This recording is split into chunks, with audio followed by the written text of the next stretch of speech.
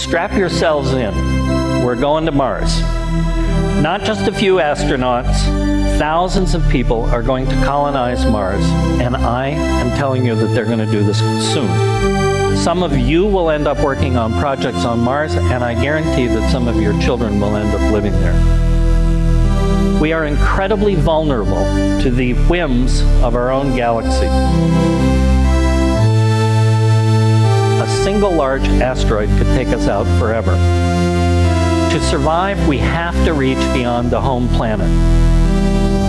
Think what a tragedy it would be if all that humans have accomplished were suddenly obliterated. And there's another reason we should go.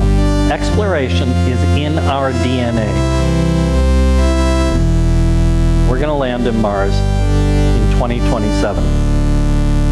And the reason is this man is determined to make that happen. His name is Elon Musk. He's the CEO of Tesla Motors and SpaceX.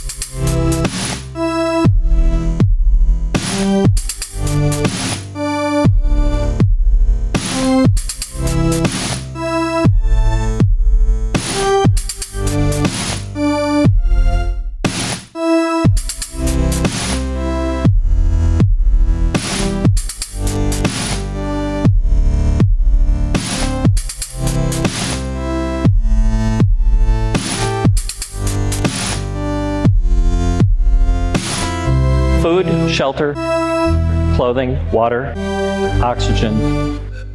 We can do this. We really can. But it's still a little complicated and a little difficult. So that leads to the next big, really big step in living the good life on Mars. Making it more like Earth, re engineering an entire planet. That sounds like a lot of hubris, but the truth is that the technology to do everything I'm about to tell you already exists.